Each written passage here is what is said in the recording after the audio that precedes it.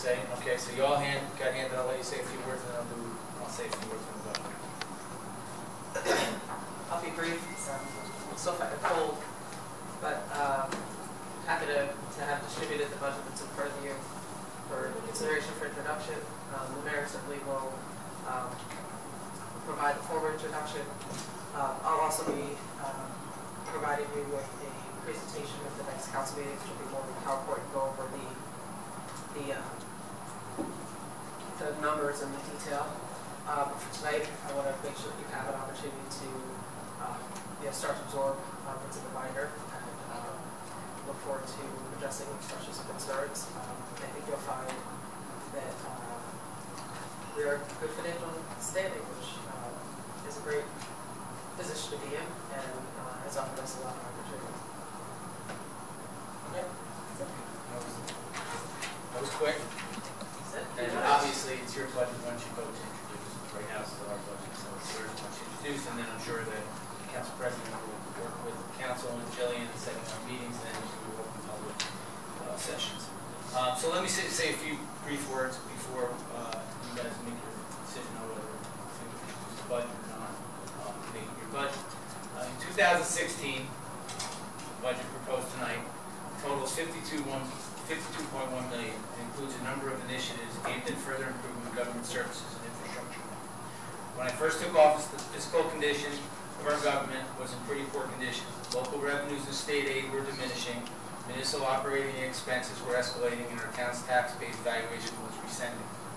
I knew it was inherently a budgetary mess and a shortfall of nearly $4 million. The structural imbalance of our town's financial operation was alarming, and it was quite apparent that Morristown's budgetary habits were in need of change. It was clear we needed to dramatically transform the way our government functioned and the way it delivered municipal services. I decided early that we would change our fiscal methods and not increase spending, defer expenses, or use unsustainable budgetary measures to mask our organization's budget woes as was done previously. All department heads and managers were challenged to reduce operational spending without compromising the level of service our citizens deserve. We would ensure the level of municipal services delivered to our Morristown residents and business owners would be maintained despite reducing expenses. Today, I am pleased to say we have achieved these goals for the past seven years, and we now stand financially strong. I am pleased to present the citizens of Morristown and the Town Council with its fiscal, fiscal year 2016 municipal budget that provides a decrease in municipal tax rate, and equally as important, a document that is physically sound.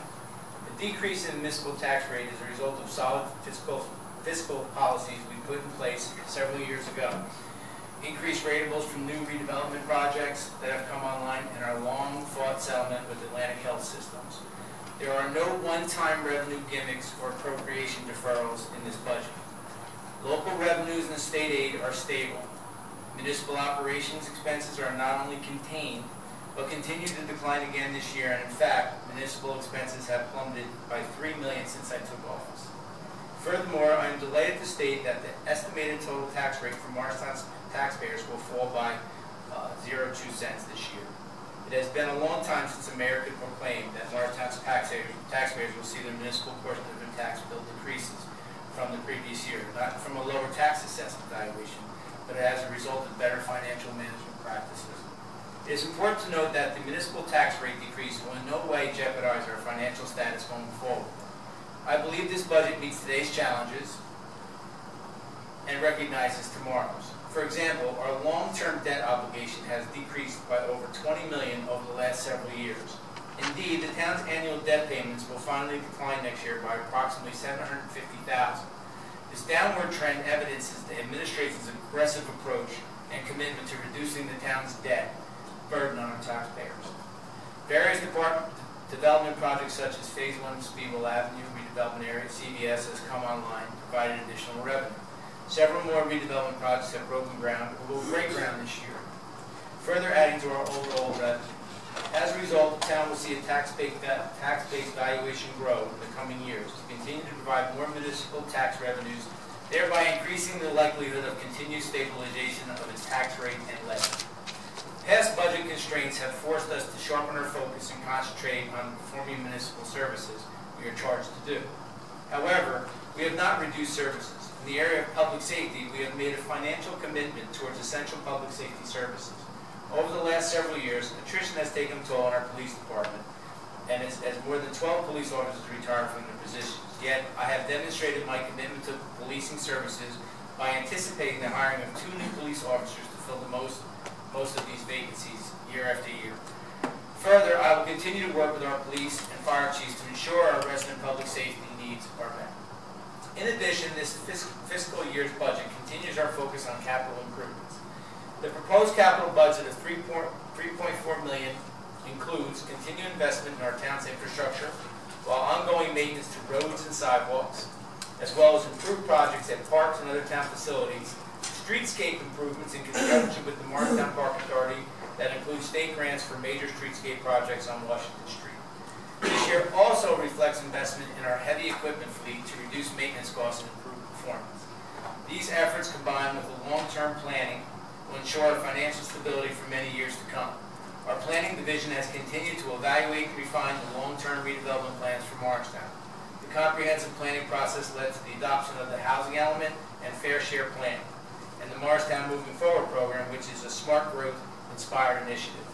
Both are designed to apply the best practices and methodologies to develop mobility, urban design, land use policy, and are consistent with the planning division's mission to improve the quality of life in Morristown by guiding and promoting development that creates jobs, builds vibrant neighborhoods, protects natural resources, and strengthens the community fabric.